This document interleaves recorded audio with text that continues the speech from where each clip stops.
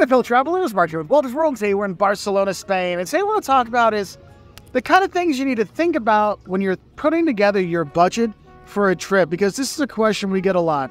Wolters World, what am I going to spend my money on? How do I even know what to budget on? Well, here are kind of the main things I kind of think about when I'm budgeting my trips. Number one, I start thinking about my plane tickets. If I'm going to be flying from the US to Europe or Europe to Asia or to Africa or wherever I'm going to go, how much is that big ticket item going to be? Because that's probably going to be the biggest one off purchase you're going to have is that big plane ticket for a big trip. So look at your options that are there. Check out for deals on Kayak or Skyscanner to find out who has better deals and then go book direct with them. So that's the first thing is that plane ticket part.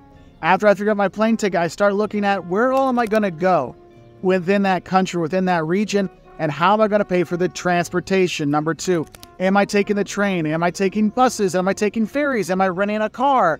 Figuring in my transportation costs. So I'm here in Spain and I can actually go online and figure out what the cost of all my train tickets are going to be beforehand. I can pre book them if I want, so I know exactly how much my budget's going to be on those train tickets. Or if I'm going to be using cheap airlines like Vueling or EasyJet, I can have an idea what those are going to be. So I'm figuring out my transportation costs to travel within Europe or traveling within the US or Southeast Asia, or wherever you're going to go. That's the next thing. Third thing you need to think about with your budget is your accommodation. Where are you going to stay? Are you going to be at the five star place or is it two star place with a bed fine with you? Or maybe just a hostel that you can just throw your backpack in a locker and go to sleep in. That's going to be another thing you got to think about because remember, your accommodation just where you're sleeping. I'm not here in Barcelona to enjoy my bed.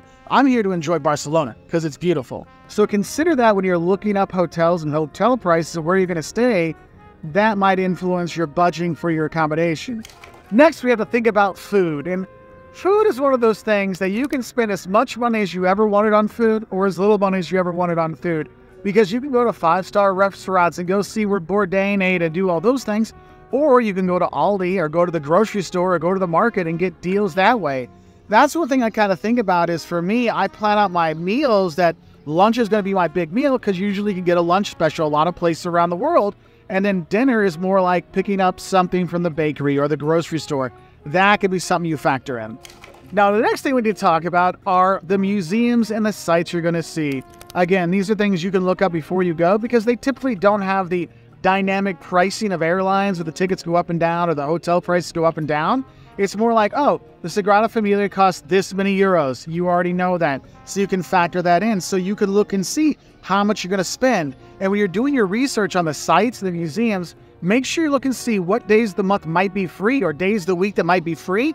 Schedule that in to make your budget go a little bit farther. Now, the next thing we'll think about on your budget is your souvenirs. Look, you're not going to come home with nothing. You're going to buy something when you're there. We buy paintings from local artists and we bring them home with us. Some people, they, Jocelyn, if she was here in Spain with me, she'd be buying shoes to bring home, and we factor that into our budget. So think about what you're going to bring home. And if you're going to get gifts for your friends to save yourself money, don't get them the cheap, crappy gifts. Don't even get them anything. What you get them is you go get a postcard, you write them a nice letter, and mail it to them. You're spending a euro 50 here in, in Spain or maybe a dollar 50 in the US, and you're sending a postcard back to your friends back home, and they know you thought of them, and that'll mean more to them than some keychain or some you know, $10 little souvenir thing. But do factor in how much you're going to spend on things when you're here, because I know Jocelyn, when she comes to Europe, she buys all her clothes here. She doesn't buy them back in the US. And so we know that, so we factor that into our budget. Another thing you to think into your budget is your insurance. You do need to get your trip insurance or your travel medical insurance. You want to have that just in case something goes wrong.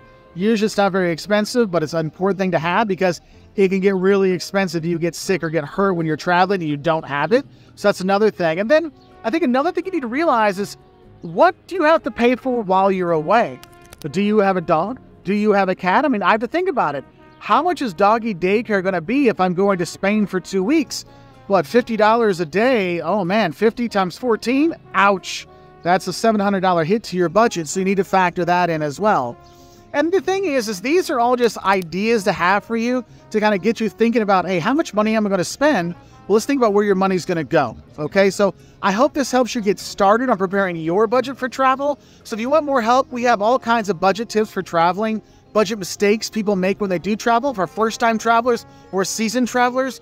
Check it out our website at woltersworld.com and also we have the link below and I'm sure it'll be up here on the side to help you know what to look out for. But uh, anyway, I hope you have a great time traveling and hope this helps you get your budget started so you can figure out how much it's going to cost you to have the greatest trip you could ever imagine.